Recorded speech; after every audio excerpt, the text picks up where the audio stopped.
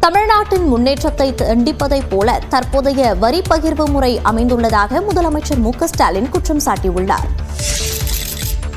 மாநிலங்களுக்கான நிதி பகிர்வை நாற்பத்தோரு விழுக்காட்டில் இருந்து ஐம்பது விழுக்காடாக அதிகரிக்க வேண்டும் என்று பதினாறாவது நிதிக்குழுவிடம் முதலமைச்சர் மு ஸ்டாலின் வலியுறுத்தியுள்ளார். மத்திய மாநில அரசுகளுக்கு இடையேயான நிதி பகிர்வு தொடர்பாக பரிந்துரைகள் வழங்க மத்திய அரசு சார்பில் அமைக்கப்பட்ட பதினாறாவது நிதிக்குழு தலைவரான அரவிந்த் பனகாரியா தலைமையிலான குழுவினர் சென்னை வந்தார். சென்னையில் உள்ள நட்சத்திர விடுதியில் முதலமைச்சர் மு ஸ்டாலின் அமைச்சர்கள் உயர் அதிகாரிகளுடன் மத்திய நிதிக்குழுவினர் ஆலோசனை நடத்தினர். அப்போது பேசிய முதலமைச்சர் கடந்த நான்கு ஆண்டுகளில் மத்திய அரசின் மொத்த வரி வருவாயில் முப்பத்து மூன்று புள்ளி ஒன்று ஆறு விழுக்காடு மட்டுமே மாநிலங்களுக்கு பகிர்ந்து அளிக்கப்பட்டிருப்பதாக கூறினார். தமிழ்நாடு அரசின் சார்பாக நிதிக்குழுவின் பரிசீலனைக்கு வழங்கப்படவிருக்கும் விரிவான அறிக்கையினை கவனத்துடன் பரிசீலித்து கடந்த காலங்களில் பல்வேறு நிதிக்குழுக்களின் பரிந்துரைகளினால் தமிழ்நாட்டு கிடைக்கப்பட்ட அநீதிகளுக்கு உரிய தீர்வை பதினாறாவது நிதிக்குழு வழங்கும் என்று உறுதியாக நம்புகிறோம். ஒன்றிய வருவாயில் மாநிலங்களுக்கான வரி பகிர்வின் பங்கு ஐம்பது விழுக்காடு உயர்த்தப்படுவதுதான் முறையானதாகவும் அனைவருக்கும் ஏற்புடையதாகவும் இருக்கும். தமிழ்நாட்டின் முன்னேற்றத்தை தண்டிப்பதைப் போல தற்போதைய வரி பகிர்வு முறை அமைந்துள்ளதாகவும் முதலமைச்சர் குற்றம் சாட்டினார். பதினாறாவது நிதிக்குழுவுக்கு தமிழ்நாடு அரசு பல்வேறு முக்கிய பரிந்துரைகளை அளித்துள்ளது.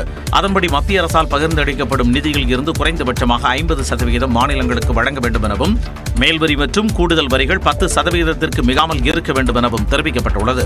மாநில அரசு நலத்திட்டங்களில் எழுபத்தி ஐந்து சதவிகித பங்களிப்பை மத்திய அரசு வழங்க வேண்டும் எனவும் தெரிவிக்கப்பட்டுள்ளது. மக்கள் தொகை செயல்திறன் பொருளாதாரத்திற்கான பங்களிப்பு மற்றும் நகரமயமாக்கலுக்கான பங்கு ஆகியவற்றின் அடிப்படையில் நிதி பகிர்ந்தளிப்பு வரைமுறைகள் பரிந்துரைக்கப்பட வேண்டும் எனவும் தமிழ்நாடு அரசு கூறியுள்ளது.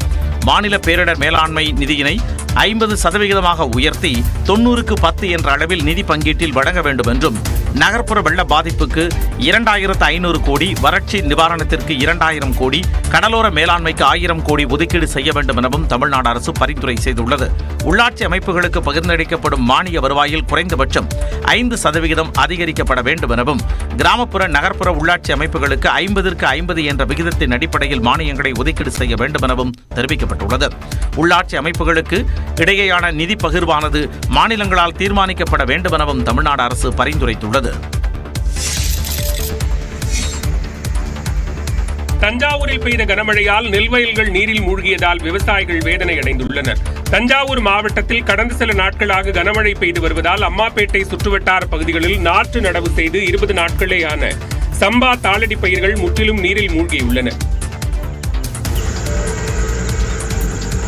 தமிழக அரசும் தஞ்சை மாவட்ட நிர்வாகமும் வருவாய்த்துறையும் வேளாண்மை துறையும் உரிய கணக்கெடுப்பு செய்து உரிய இழப்பீடு வழங்குவதற்கான நடவடிக்கை எடுக்க வேண்டும். திருவாரூர் மாவட்டத்தில் நன்னிலம் மாப்பிள்ளைக்குப்பம் சன்னாநல்லூர் ஆண்டிப்பந்தல் கம்மங்குடி உள்ளிட்ட இடங்களில் ஒரு மணி நேரத்திற்கு மேலாக கனமழை கூட்டியது.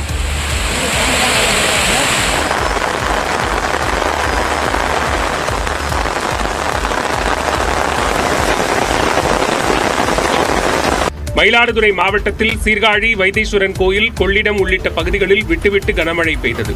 சீர்காழியில் எஸ்கே நகர் அபிராமி நகர் உள்ளிட்ட பகுதிகளில் குடியிருப்புகளை சுற்றி தண்ணீர் சூழ்ந்ததால் மக்கள் கடும் அவதிக்கு உள்ளாகினர்.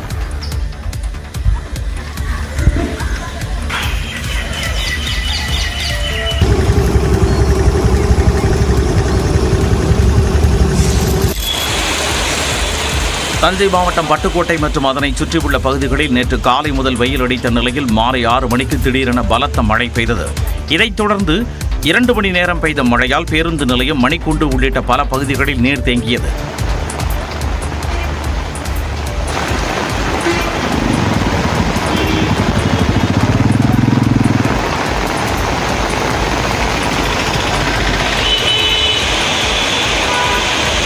அதேபோல திருத்துறைப்பூண்டி மற்றும் சுற்றுவட்டார பகுதிகளான வேலூர் வரம்பியம் சுந்தரபுரி அண்ணாநகர் சிங்கடாந்தி மடப்புரம் பள்ளங்கோவிலில் கனமழை பெய்தது. கனமழை காரணமாக திருத்துறைப்பூண்டி பழைய பேருந்து நிலையம் நாகை சாலை உள்ளிட்ட பல்வேறு பகுதிகளில் மழைநீர் பெருக்கெடுத்து ஓடியது.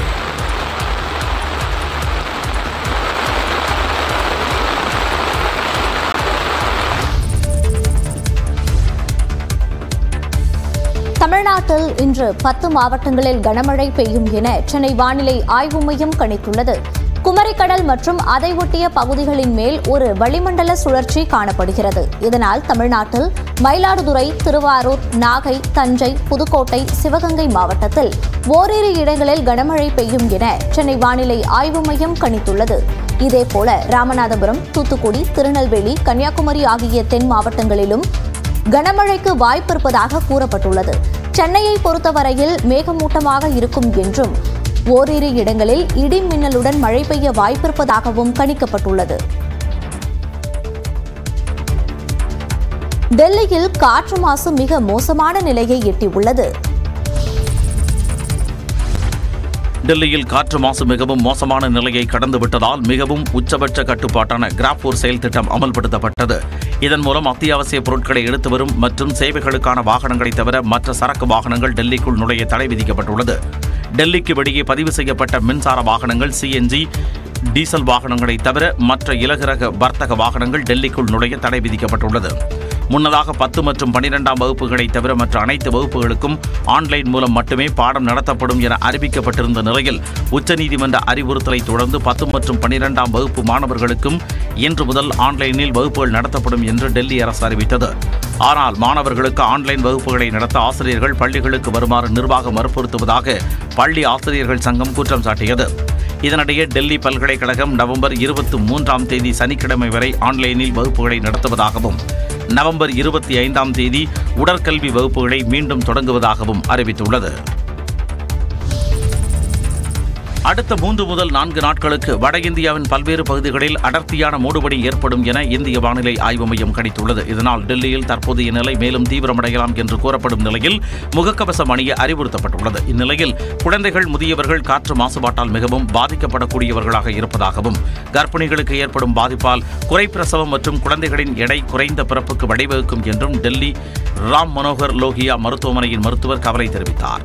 So pregnancy, it can have disastrous effect. It can lead to uh, premature babies, premature deliveries. It can lead to low birth weight in the babies.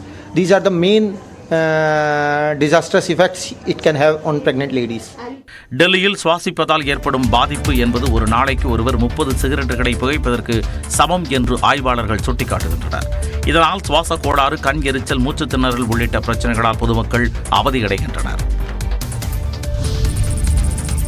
டெல்லியில் காற்று மாசு குறைவதற்கான கிராப்வோர் செயல் திட்டத்தின் கீழ் எடுக்கப்பட்டுள்ள கடுமையான நடவடிக்கைகளை முன் அனுமதியின்றி குறைக்கக்கூடாது என்று உச்சநீதிமன்றம் திட்டவட்டமாக தெரிவித்துள்ளது. காற்று மாசு குறித்த வழக்கு நீதிபதிகள் அபய் ஓகா அகஸ்டின் ஜார்ஜ் ஆகியோர் அடங்கிய அமர்வு முன் விசாரணைக்கு வந்தது. அப்போது டெல்லி காற்று மாசு குறித்த வழக்கு விசாரணையின் போது புதிய கட்டுப்பாடுகள் முறையாக செயல்படுத்தப்படுகிறதா என்று நீதிபதிகள் கேள்வி எழுப்பினர். இதற்கு பதிலளித்த அரசு வழக்கறிஞர் நேற்று முதல் கிராப்வோர் செயல் திட்டம் அமல்படுத்தப்பட்டதாக கூறினார். அப்போது காற்று மாசு நானூற்று ஐம்பதை எட்டிய போது ஏன் உடனடியாக கிராப்போர் நிலையை அமல்படுத்தவில்லை என்றும் இருபத்தி நான்கு மணி நேரம் காத்திருந்தது ஏன் என்றும் காற்று மாசு மேலாண்மை ஆணையத்திற்கு நீதிபதிகள் கேள்வி எழுப்பினர். காற்று மாசு தரக்குறியீடு நானூற்று ஐம்பதற்கு கீழ் குறைந்தாலும் கிராப்போர் நிலையை உச்சநீதிமன்ற உத்தரவின்றி நீக்கக்கூடாது என்றும் கூறினர். இந்த விவகாரத்தில் விவசாய கழிவுகள் எரிப்பு தொடர்பான தரவுகளுக்கு இஸ்ரோவையும் இணைக்க நீதிபதிகள் உத்தரவிட்டனர்.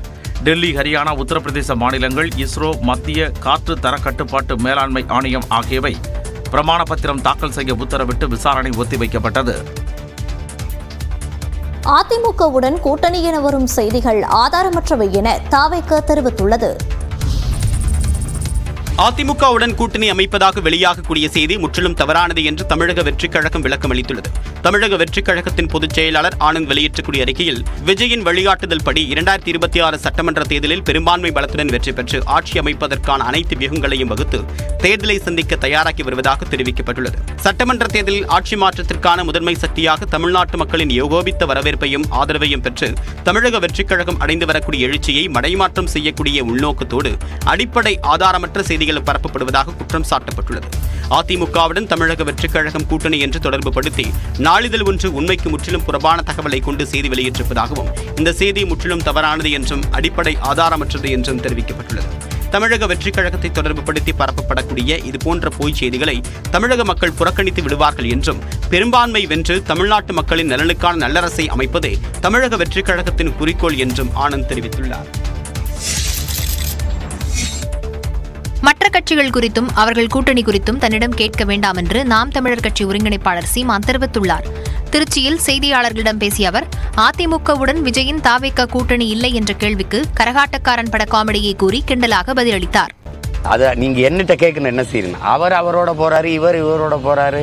அப்படின்னா இந்த காரை அன்னைக்கு அவன் வச்சிருந்தா கரகாட்டத்தில் வரல இப்ப யார் வச்சிருக்காங்கிறதெல்லாம் அந்த நகைச்சுவையெல்லாம் நான் செஞ்சுக்கிட்டு இருக்க தயாராக திமுகவும் பாஜகவும் நேரடியான கூட்டணியில் இருப்பதாகவும் சீமான் விமர்சித்தார். நீங்க அம்மையார் ஜெயலலிதாவுக்கு வெளியிட்டீங்க. கூட்டணியில் இருக்கும்போது ஆனா பாரதிய ஜனதா வரல. கூட்டணியில் இருக்கும்போதே வரல. நாங்க கூட்டணியில் இல்ல. ஆனால் எங்களுக்காக ராஜ்நாத் சிங் வந்து வெளியிடுறாங்க. அந்த அரசே வெளியிடுது எங்க அப்பாவுக்கு காசு அப்படின்னு. இதுல இருந்து கூட்டணி வைத்திருந்தும் வரல பிஜேபி. கூட்டணி வைக்காமலே வருது திமுகவுக்கு. கூட்டணி என்பது தற்கொலைக்கு சமமானது எனவும் இரண்டாயிரத்தி இருபத்தாறு தேர்தலிலும் தனித்துதான் போட்டி எனவும் சீமான் தெரிவித்தார். சில்வர் பேப்பர் மற்றும் பிளாஸ்டிக் கவர்களில் உணவு பார்சல் செய்தால் கடையின் உரிமம் ரத்து செய்யப்படும் என உணவு பாதுகாப்புத்துறை எச்சரிக்கை விடுத்துள்ளது. உணவு பாதுகாப்புத்துறை சட்டத்தின்படி பார்சல் உணவுகளை பிளாஸ்டிக் மற்றும் சில்வர் கவரில் பயன்படுத்த தடை விதிக்கப்பட்டுள்ளது. எனினும் பல பிரியாணி கடைகளிலும் சாலையோர துரித உணவகங்களிலும் இந்த சில்வர் கவர் அதிக அளவில் பயன்படுத்தப்படுவதை பார்க்க முடிகிறது. இந்த நிலையில் பிரியாணி உணவை சில்வர் கவரில் பார்சல் செய்த வீடியோ ஒன்று சமூக வலைதளங்களில் வேகமாக பரவியது. இது தொடர்பான விசாரணை மேற்கொள்ளப்பட்டு வருவதாகவும் இதுபோன்று எங்கு நடைபெற்றாலும் உடனடியாக தகவல் தெரிவிக்குமாறு உணவு பாதுகாப்புத்துறை தெரிவித்துள்ளது. சில்வர் பேப்பர் மற்றும் பிளாஸ்டிக் கவரில் உணவு பார்சல் செய்தாலோ அல்லது கடைகளில் பயன்படுத்தினாலோ கடும் நடவடிக்கை எடுக்கப்படும் என எச்சரிக்கை விடுக்கப்பட்டுள்ளது. குழம்பு வகைகள் டீ காஃபி போன்றவைகளை பிளாஸ்டிக் கவரில் கட்டி கொடுத்தால் கடையின் உரிமம் ரத்து செய்யப்படுவதுடன் கடைக்கு சீல் வைத்து ஐந்தாயிரம் ரூபாய் அபராதம் விதிக்கப்படும் என தெரிவிக்கப்பட்டுள்ளது. கொரோனா தடுப்பூசி போடாமல் கொரோனாவால் பாதிக்கப்பட்டவர்களுக்கே அதிகமாக மாரடைப்பு வருவதாக மூத்த விஞ்ஞானி சௌமியா சுவாமிநாதன் தெரிவித்துள்ளார். சென்னை கிண்டியில் உள்ள அண்ணா பல்கலைக்கழக வளாகத்தில் நடைபெற்ற நிகழ்ச்சி ஒன்றில் கலந்து கொண்டு பேசிய அவர் கொரோனா காலத்தில் அதிகளவு ஆன்டிபயோட்டிக் மருந்துகளை பயன்படுத்தியதால் பலருக்கு கரும்பூஞ்சை நோய் ஏற்பட்டதாக தெரிவித்தார். தொடர்ந்து செய்தியாளர்களிடம் பேசிய அவர் கொரோனா தடுப்பூசி போடாமல் கோவிட் தொற்றால் பாதிக்கப்பட்டவர்களுக்கு அதிக அளவில் மாரடைப்பு வந்துள்ளதாகவும் கூறினார். பட் ஆக்சுவல் ஃபேக்ட் என்னன்னா கரோனா வந்தவங்களுக்கு ஹார்ட் அட்டாக் வரத்துக்கோ டயபிட்டிஸ் வரத்துக்கோ இந்த மாதிரி ஸ்ட்ரோக் வரத்துக்கோ வாய்ப்பு ரொம்ப அதிகம். ஏன்னா அந்த வைரஸ் வந்து நிறைய உள்ள டேமேஜ் பண்ணிட்டு இருக்கு வந்தவங்களுக்கு. ஆமா வந்தவங்களுக்கு. அதுவும் ரெண்டு மூணு தூரம் வந்திருந்தா இன்னும் கொஞ்சம் டேஞ்சர் அது. ஸோ அது ஜனங்க என்ன நினைக்கிறாங்க வந்து ஏன்னா அந்த ஊசி போட்டு தான் அவங்கள நினைவு இருக்கு. ஸோ வேக்சின் போட்டதுனால இப்படி ஆயிருக்குமோ அப்படின்னு நினைக்கிறாங்க. பட் ஆக்சுவல் ஃபேக்ட் என்னன்னா அந்த கரோனா வந்ததுனால அந்த ரிஸ்க் அதிகமாயிருக்கு. கொரோனாவுக்கு போடப்பட்ட தடுப்பூசியில் நூறு சதவீதம் பக்க விளைவுகள் இல்லை என கூற முடியாது எனவும் சௌமியா சுவாமிநாதன் தெரிவித்தார்.